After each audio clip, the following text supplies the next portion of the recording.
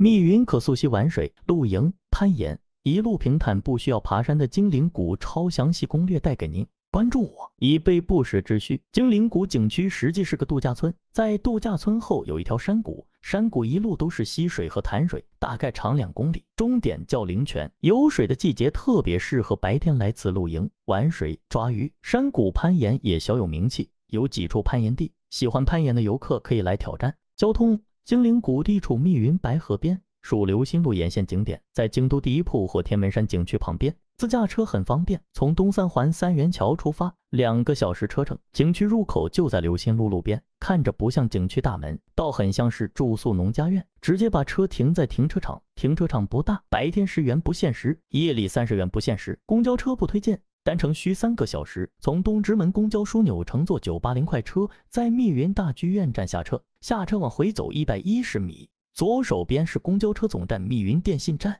在这里乘坐密六十三路，在京都第一铺站下车，下车沿路往下走，大概三百米，路左手边就是金陵古渡景区入口。门票，成年人三十，大中小学生，六十岁以上持老年证人士。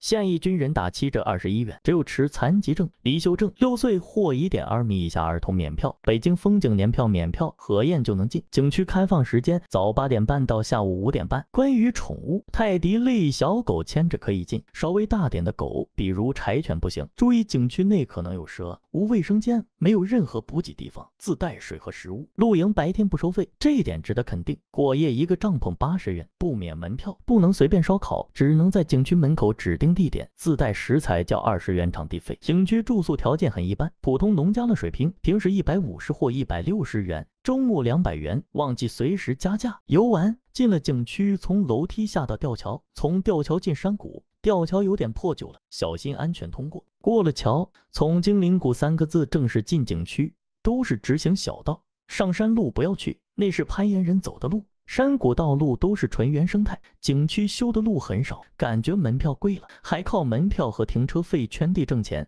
未来会比较难。一路上都是潭水溪水。二零二三年七三一后，精灵谷水量很大，有时候溪水把路都淹了。往年未必有这么多水，鱼也多。山谷最大优点是潭水里都有小鱼，带孩子来玩水抓鱼确实不错。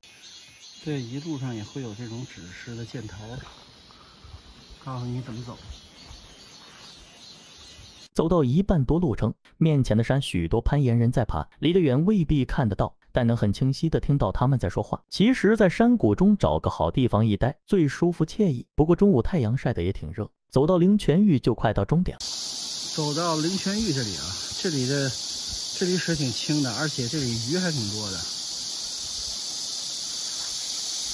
这儿环境还挺好。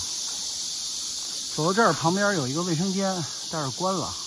关了以后，这有一条小路，从这小路进去是往这个灵泉走。过了灵泉峪是青石渠，这里的小水泡中都有鱼，用大网把向下的口一堵，然后赶鱼，应该很好抓。从青石渠向左是去灵泉，有指示牌，从指示牌向上需要爬一段台阶。到这里以后，灵泉是得往这边去。上面还有石桌石凳，这里休息很凉快，不晒。再向上没多远，右手边就是灵泉。往上走一点儿，这就是灵泉，有两个小的泉眼。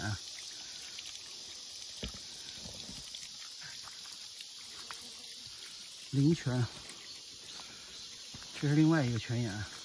不知道这水能不能喝。这里就是景区开放区域的终点，从青石区还能往山谷深处走，也有潭水。不过不知道还能去哪，有知道的可以在评论区留言。精灵谷整个游览时一到两小时，夏天白天想露营、玩水、抓鱼的游客，有水的情况下推荐来。来之前一定提前查下有没有水，没溪水就不推荐了。喜欢攀岩的可以来尝试一下，需要专业人士指导下。视频制作不易，希望点击关注。有用请在评论区回复有用。